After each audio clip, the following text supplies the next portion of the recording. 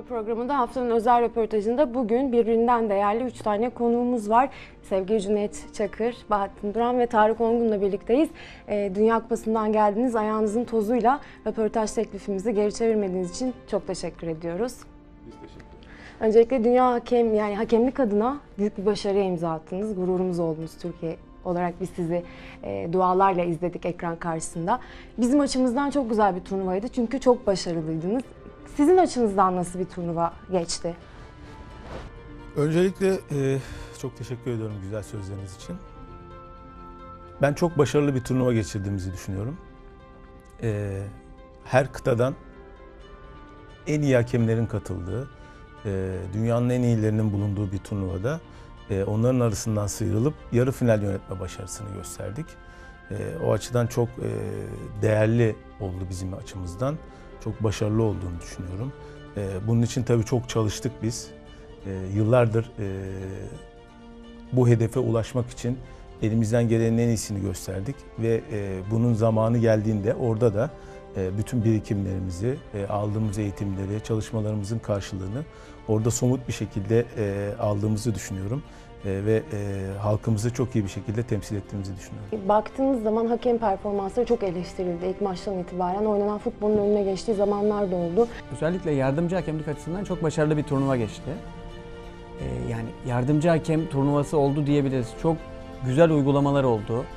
Hakem, yardımcı hakem işbirliği, offside'lar, offside'ın yeni yorumuyla ilgili.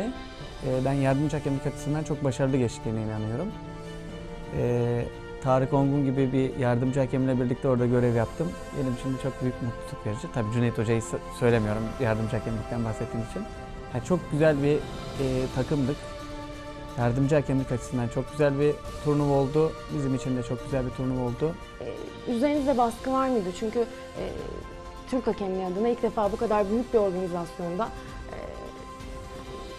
görev yaptınız.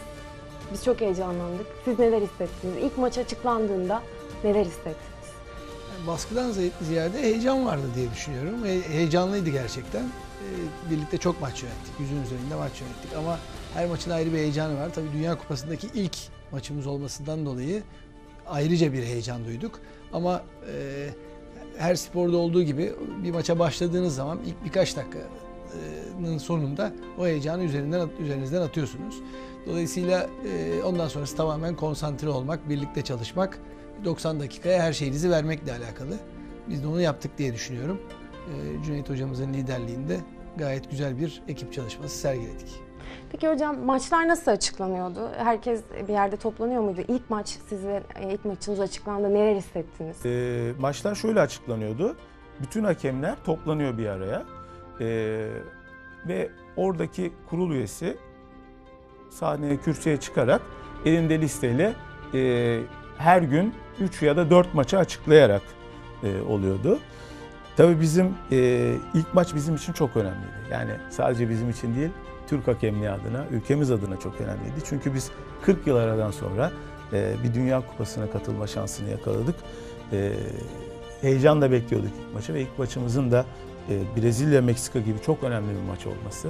O maçı duyduğumuz zaman ilk olarak tabii birbirimiz e, yan yana oturuyoruz. İlk olarak birbirimizle sarıldık, ellerimizi tuttuk, e, kenetlendik yani daha maç başlamadan kenetlendik ve onu çok iyi yöneteceğimize inanmıştık. Ben zaten o anda o o duygularımızla o maçın çok iyi geçeceğine emin olmuştum. Peki maç öncesinde mutlaka ufak toplantılar yapıyorsunuzdur ama e, bu maç öncesi yaptığınız toplantı biraz daha farklıdır. Mutlaka duygusal bir şeyler geçmiştir konuşmalarınızda. Ee, çok tatlı bir heyecan vardı. Yani ilk olması açısından. Özellikle sahaya çıktığımızda ısınırken yani hani bir an durdum ben. Yani etrafıma baktım. Neredeyim, ne oluyor? Onu kanıksadıktan sonra e, çok güzel bir duygu yaşadık. E, maçtan önce de duygusal olarak tabii ki maçtan iki gün önce Cüneyt Hoca bizle o konuşmayı yaptı. O heyecanı zaten hepimiz yaşıyorduk ama onunla birlikte bir kat daha yaşadık. E, ondan sonraki günde maçtan bir gün önce her iki takımı e, incelediğimiz çok uzunca bir toplantı yaptık. Maçı o şekilde hazırlandık. Bu arada e, Milli Takım Teknik Direktörü Fatih Terim'in de bu konuda size desteği oldu sanırım ve ekibinin. E, nasıl bir çalışma yaptılar, sizinle paylaştılar? Şimdi burada tabii ki Fatih Hoca'ya çok teşekkür etmek istiyorum. Ee, ben her zaman işte e, hocanın çalıştırdığı takımlarda hep e, onun oyuncularını nasıl motive ettiğini biz duyuyoruz. E, hoca bir kere öncelikle her şeyden önce e, her maç öncesi bize attığı mesajlarla gerçekten bizi e, maça çok iyi hazırladı. Sayın Metin Çakıroğlu'na da çok teşekkür etmek istiyorum. Yaptığı müthiş analizlerle biz her maç öncesi kendisinin hazırladığı e, o görüntülerle yaklaşık 2 saatlik bir çalışmayla maçlara hazırlandık. E, ve bu yaptığımız çalışmadan sadece biz değil, diğer e, hakem arkadaşlarımız da faydalandılar. E, Yani aslında Fatih Terim bütün hakemlere mi yardımcı oldu yaptığı çalışmalar? Yani hocanın liderliğinde e, o ekip gerçekten müthiş bir çalışma çıkarttı. Özellikle bizim açımızdan e, kusursuzdu diyebilirim. Metin Çakıroğlu'nun hocamın bahsettiği çalışmasında e, oynayacak iki takımın tüm duran top organizasyonları, offside taktikleri, e, hücuma ne şekilde çıktıkları, karşı tarafı ne şekilde e, karşıladıkları, kontra ataklardaki reaksiyonları, kornerler bunların hepsini çok net kliplerle ezberledik diyebiliriz. Dolayısıyla biz her kornerde az çok ne olacağına çok hazırlıklıydık. Mikrofondan da konuşuyorduk. E, bir oyuncu elini kaldırırsa ne yapar? Şöyle e, yaparsa ne yaparına kadar artık al- algılamıştık. Buna hazırlıklıydık. Dolayısıyla e, maça o özgüvenle çıktık. Ben de e, ekibe tekrar çok teşekkür ediyorum Fatih Hoca nezdinde. E, onlar sayesinde çok e, rahat ettik. Gönlümüzden geçen sizin final yönetmenizdi. Ee, yine konuşulan hakem performansları arasında final için çok kuvvetli e, aday olarak siz gösteriliyordunuz. E, bu turnuvada e, hakkınızı yendiğini düşünüyor musunuz? Final olmalıydı bize göre. Yani sonuçta tabii ki e, bu tarz yorumlar bizim için gurur verici ve çok güzel ama yani hiç kimse de 40 yıl aradan sonra bir turnuvaya katılmış e, bir hakem ekibine kalk gel finali yönet hoş geldin. Yani bu iyimser bir tablo olur sadece. Biz e, 40 yıl aradan sonra oraya katılarak ülkemizi temsil etmenin gururunu yaşadık.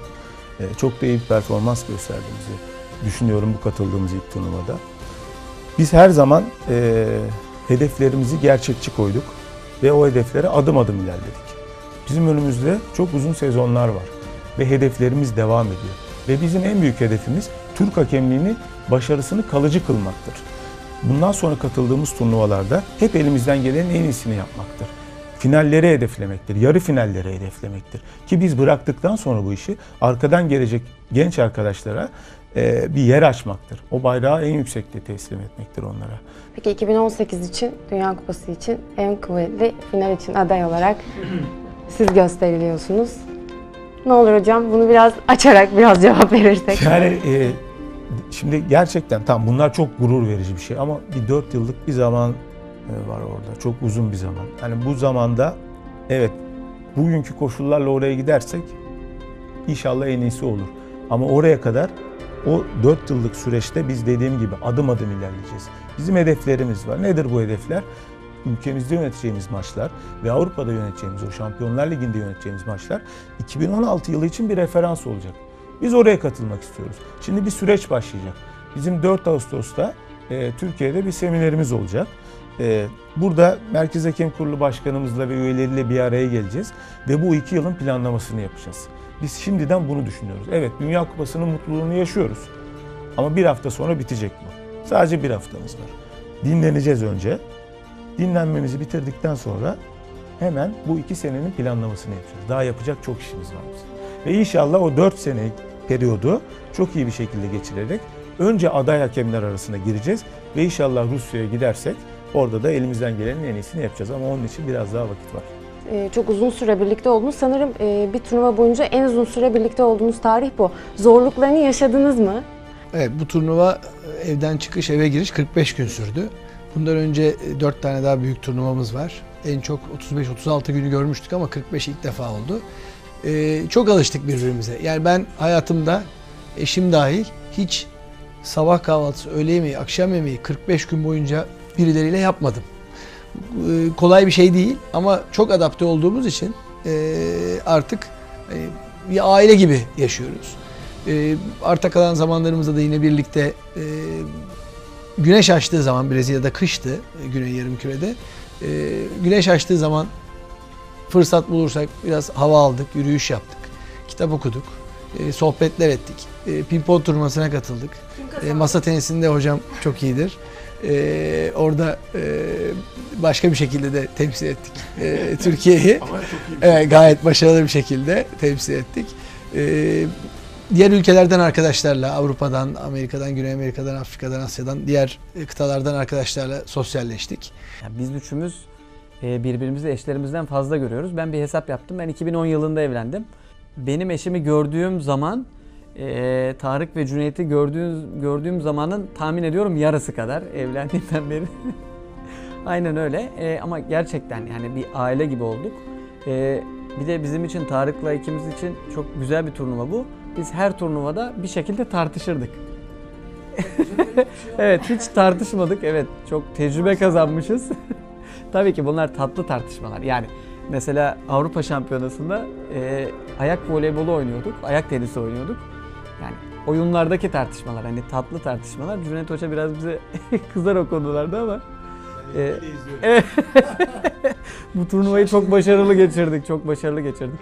Sizin adınıza mesela en çok neyi özlediniz? Yani çıkıp orada e, maç yönetmek değil, 45 gün içerisinde sadece 3 maç yönetiyorsunuz. E, ve bunu bekliyorsunuz. Bununla baş etmeniz lazım. Bugün maç geldi mi, yarın gelecek mi? Bunlar çok önemli konular. E, ben çok iyi vakit geçirdiğimizi düşünüyorum. E, sadece maç yönetmek değil. Yani onun dışında kalan zamanlarda da. Yani e, sadece oturup beklemiyorsunuz. Yani sonuçta bir hazırlık var. E, kafanızı boşaltmanız var. E, keyif almanız lazım. Yani şimdi sonuçta dünyanın futbolun en yüksek e, bir ilgiyle izlendiği bir turnuvadasın. Bunun daha bir üzeri yok. Dünya Kupası bu. Ya tabii ki de e, biz zaten çalışmamızı yaptık. Bütün e, sorumluluklarımızı yere getirdik, yerine getirdik. Ama bir de bunun keyif alma yönü var. Yani. Orada olmanın keyfini de çıkardık biz. Bu çok önemliydi. Tabii ki e, özlediğiniz her şey var. Yani yemekleri bile özlüyorsunuz. Yani sevdiğiniz kişilerin dışında e, her şeyi özleyebilirsiniz. Yani buranın havasını bile özlüyorsunuz. Ama sonuçta biz orada e, bir görev için oradayız.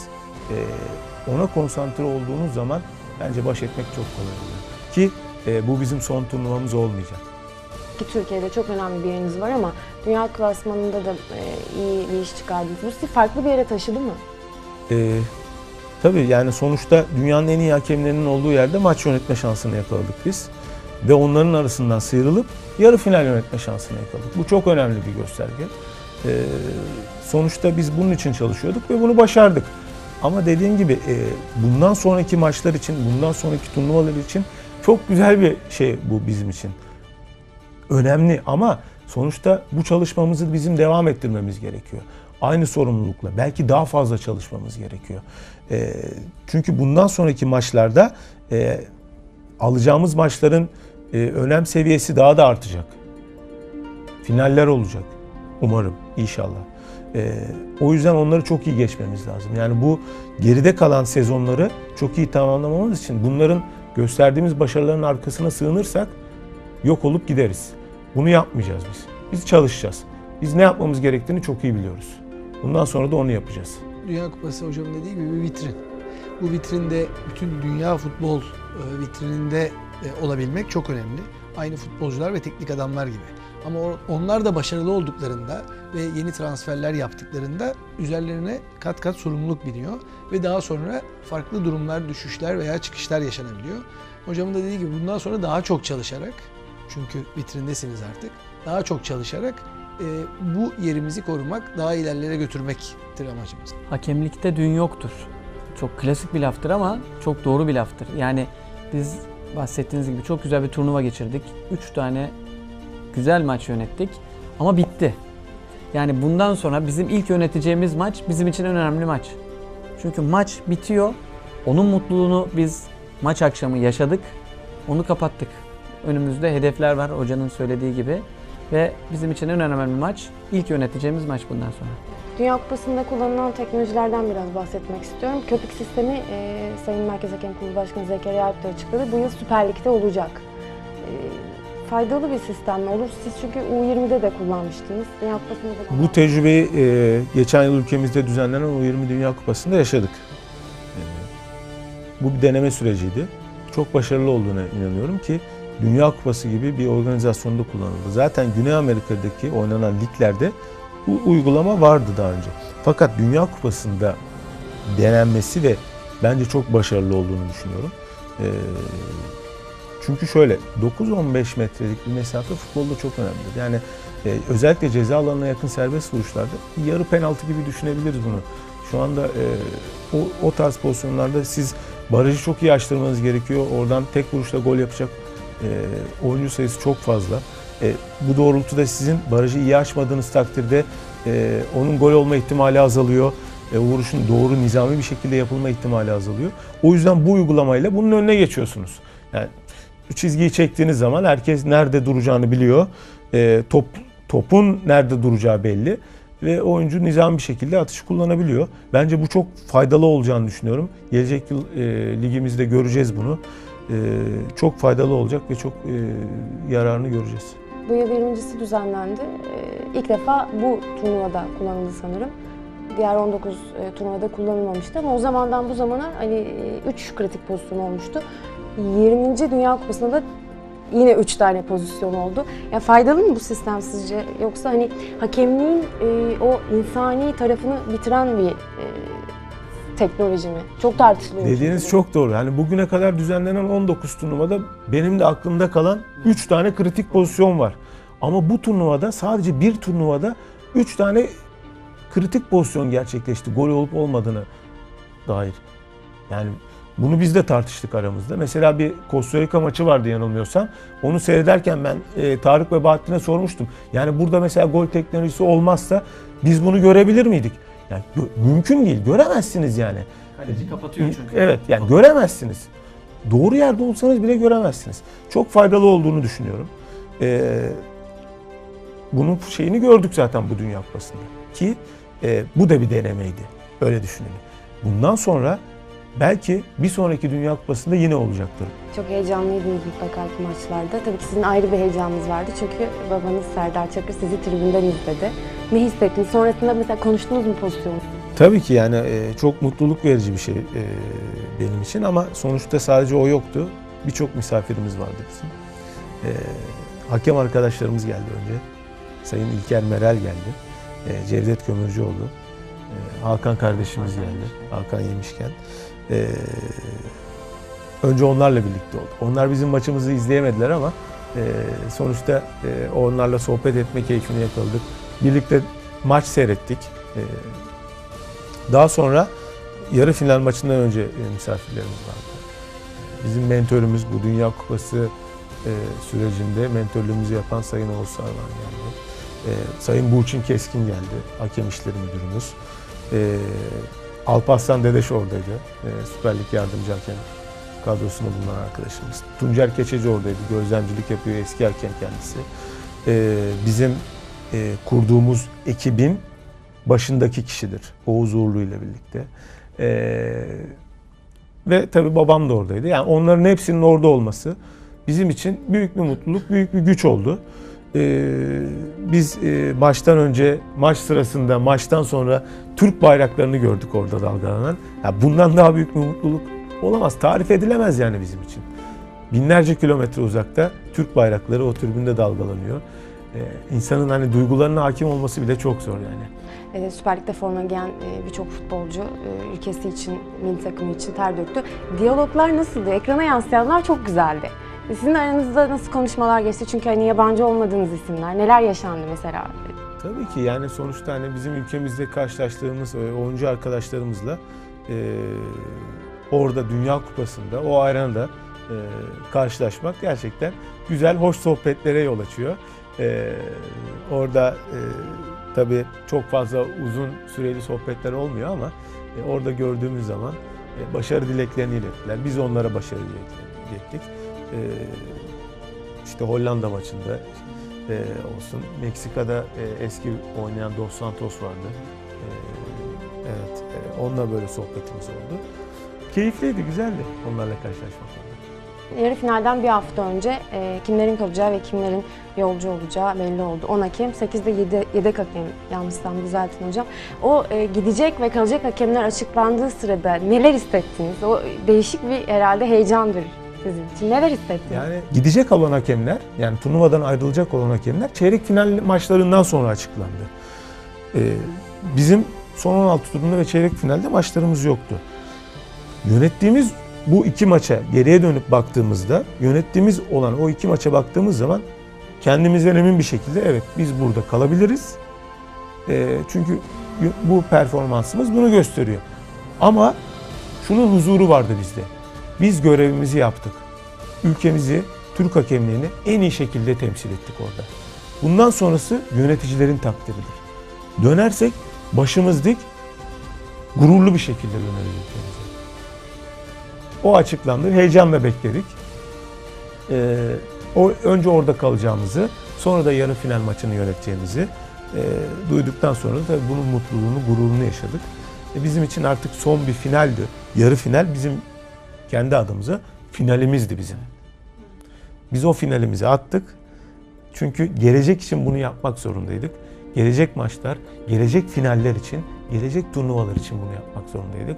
Çok şükür ki bunu da en iyi şekilde e, bitirdik. Artık e, dediğim gibi yeni sezonda e, elimizden gelen en iyisini yapıp yine üst düzey maçlarda görev almak istiyoruz. Bir de şöyle bakmak lazım. Şimdi orada e, hakem kadrolarını futbolcu gibi görmek lazım. Orada dünyanın en iyi 25 tane hakem kadrosu var. Ve bir hocanız var, yöneticiniz var. Hoca grup maçlarında, 16'da, çeyrek finalde, yarı finalde nasıl bir teknik direktörün bir oyun taktiği varsa bizim başımızdaki insanın da mutlaka kendi kafasında bir takım planı var. En iyi 25 içinden ona uygun olan kişileri maça atıyordu. Cüneyt Hoca'nın biraz önce bahsettiği gibi yani biz iki maçı yönettik ve görevimizi yaptık. Bize bir görev gelmeyebilirdi de. Çünkü orada en iyi 25 var. Ve hoca bunun için hangisi uygunsa o maçı onu atıyor. Çok başarılı 3 maç yönettiniz. E, Siz orada maçları yönetirken burada da tabii çok konuşuldu her şey. E, Ne yapılmalı? Kalıcı bir şeyler yapılmalı mutlaka. Bunun maddi manevi bir karşılığı olmalı şeklinde. E, hatta isminizin bir sokağa, caddeye verilmesi bile gündeme geldi. Böyle bir şey olursa mutlu olur musunuz? Bu turnuvada yine Türk bayrakları dalgalandı yarı final maçında. Şampiyonlar Ligi yarı finalinde, Avrupa Ligi yarı finallerinde e, her zaman biz e, o ülkemizi temsil etmenin e, sorumluluğuyla çıktık ve gururuyla çıktık. Bu bizim için çok önemli bir kere. Bu e, konuşulan şeyler de bizim için gurur verici ama bunlar büyüklerimizin takdiridir bu. E, onlar nasıl uygun görürse e, onların sonuçta takdiri olacaktır. Size nasıl geliyor bu fikir? Mesela yol tarif edeceksiniz. Bahattin Duran, Tarık Ongül sokağından sola dönün ya da Cüneyt Çakır. Nasıl, nasıl bir duygu? Böyle bir şeyin hayalini dahi kurmamıştım. Ee, şaşırdım Bahattin bir şey diyemiyorum şu anda. Evet, çok mutluluk verici bir şey. Bunların konuşulması bizim için çok onur verici, gurur verici şeyler. Ama Cüneyt ve Tarık konuşurken düşündüm. İşte doğduğum sokak falan nasıl olur? ya çok güzel tabii ki yani hani bunların böyle düşünülmesi çok mutluluk verici. Sayın Başbakanımız Recep Tayyip Erdoğan'la da bir sanırım telefon görüşmemiz oldu. E, Kendisi e, yarı final maçından önce e, başarılarının ve dualarının e, sizlerle e, olacağını söyledi. E, Neler geçti o telefon konuşmasında? Tabii ki ben başbakanımız e, sporcunun ve sporun ve sporcunun yanında olan bir kişi. E, bize e, başarı dileklerini iletti, e, dualarını iletti. Çok teşekkür ediyoruz kendisine buradan. E, bizim için gurur verici bir şey onun desteğini hissetmek. E, daha önce de e, yine bize olan desteklerini ve dualarını iletmişti. Ayrıca Spor Bakanımız da e, üçümüzü ayrı ayrı arayarak kendisi başarı dileklerini ve dualarını iletti bize. Ben buradan çok teşekkür ediyorum tekrar. Hollanda Arjantin yarı finalinden sonra bitti. Maçtan çıktınız, başarılı bir yönetim. Soyunma odasına gittiğinizde ilk olarak ne söylediniz birbirinize? Ben sadece yani böyle dakikalarca birbirimize sarıldığımızı hatırlıyorum. Hoca çok güzel bir konu- Hoca çok güzel bir konuşma yaptı ama inan hatırlamıyorum ne dediğini. Hiç hatırlamıyorum. bana vurdu da. Vallahi ben vurmadım. Galiba Cüneyt vurdu. Ya ben sadece şey, e, benle bir müddet konuşmayın. E, ben ağlayacağım yoksa dedim. E, onlar ağla dedi. Yok ben otele gidince ağlamak istiyorum dedim. Ağladınız mı? Tabii ki. Ya orada ağlamamak mümkün değil. duygularına engel olması mümkün değil orada. Söylerken bile O maç sonrası gelen mesajlar, sadece onları okuduğunuzda bile çok kötü oluyorsunuz. yani. Siz ne yaşadınız kendi adınıza? Ee, çok özel duygular yani. Dediğim gibi orada e, saat, an, mekan hepsi yok oluyor, kayboluyor, gidiyor. e, sonuçta e, yıllardır uğraştığınız e, ve e, neticesini aldığınız bir işin hazzını duyuyorsunuz. E, çok çok özeldi. Ben oğlumu çok özlemiştim. Yani e, Tarık'la Cüneyt biliyor. E, onu gördüğümde bile zaten artık tutamıyordum kendimi. Küsmüştü bir de bana. E, Can Bahattin'e küstü. Cüneyt ve bana mesajlar atmaya başladı. Bizi baba gibi mesaj gördü. atıyor 3 yaşında. Onun- onunla mesajlaşıyorduk. Bahattin'e de söylemiyorduk ki kıskanmasın. Ama asıl herhalde e, sizi yani ekip olarak gittiğinizi biliyor muydu? Herhalde bilse bu tarafa da küserdi. Yani hocamla hayır. Takip. Her şeyi biliyor. Çok güzel şeyler yaşadık biz burada ama bir de maalesef turnuvadan alacağımız paralar hesaplandı. Siz bu haberleri gördünüz mü, duydunuz mu ya da şu an söylediğimde ne hissediyorsunuz? Yani biz oradayken hiç böyle şeyleri takip etmedik yani. Takip etme gereği de duymadık yani. Sonuçta biz işin o tarafıyla hiçbir zaman ilgilenmedik ki. Yani bizden fazla ilgilenenler varmış demek ki. Ee, o tabii onların kendi problemi. Ee, biz hiçbir zaman öyle bakmadık olaya. Biz e, hakemliğe aşığız. Futbolu çok seviyoruz. Hakemliğe aşığız. Sonuna kadar da böyle kalacak bu. O insanlar da istedikleri kadar, istedikleri müddetçe o haberleri yapmaya devam etsinler. Yani herkesin sonuçta e, bakış açısıdır bu. Futbolu ne kadar sevdiğiyle alakalı bir durumdur. Bu yaşadığımız şeylerin parayla ölçülmesi imkansız. Onlar onu anlayamayacak hiçbir zaman. Evet artık e, Süper Lig sezonuna da yavaş yavaş hazırlanıyoruz. Fikstür çekildi. Bu sezon şöyle bir yenilik olacak. E, bir aksilik olmazsa federasyon e, yarım sezonu açıklayacağını söyledi. Bu sizin adınıza bir kolaylık sağlar mı? Allah buna Tarık cevap versin çünkü bütün planlamaları o yapıyor bizim ekipte. Müthiş bir şey olur. Çünkü e, bizler amatörüz. Hakemlikte amatörüz. E, hepimizin bir profesyonel iş yaşantısı var. E, dolayısıyla e, çok iyi planlama yapmak zorundayız ki sezonda başarılı olabilelim. E, Türkiye Ligi, Şampiyonlar Ligi, Avrupa Ligi, Avrupa Şampiyonası eleme maçları, hazırlık maçları, e, işimiz, ailemiz derken e, doğru bir planlama yapmak için böyle bir şeye çok ihtiyacımız vardı. Mükemmel olur öyle söyleyeyim. Birbirinize böyle hitap etme tarzınız, şekliniz var mıdır? Yani özel bir şey kullanır mısınız kendi aranızda?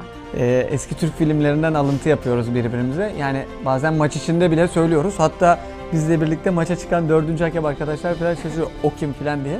Yani birbirimize hitap ediyoruz. Kibar bir şekilde. Peki en sevdiğiniz film hangisi? Shawshank Redemption, Esaretin Bedeli. Sizin en sevdiğiniz şarkı? Ee, Dünya Kupası ile birlikte We Are One. Sizin hocam en sevdiğiniz şarkı? E, Manover'dan Hard of Steel. Peki sizin en sevdiğiniz film? Olağan şüpheliler. Bu kadar keyifli bir röportajı yapmak herkese kısmet olmaz. Öncelikle bana bu şansı verdiğiniz Bu için bana çok filmi teşekkür sormadınız, ediyorum. çok Özür özür diliyorum. Sizin, sizin en sevdiğiniz Tosun film? Paşa. Tosun Paşa. O zaman bu maç içindeki diyaloglar kesin Tosun Paşa filminden herhalde oluşan repliklerdi. Burada da bunu öğrenmiş olduk. Çok teşekkür ediyorum. Değerli vaktinizi ayırdığınız için, bu keyifli sohbet için e, çok teşekkür ediyorum. Biz de çok teşekkür ediyoruz. Ee, biz, sizler her zaman ekip olarak e, bizim en zor anımızda e, bi- bize destek oldunuz, hep yanımızda oldunuz. E, sizin aracınızda bütün ekibe çok teşekkürlerimi ve e, sevgilerimizi, selamlarımızı iletiyorum. Başüstüne başarılarınızın devamını dilerim. Sağ olun. teşekkür ederim.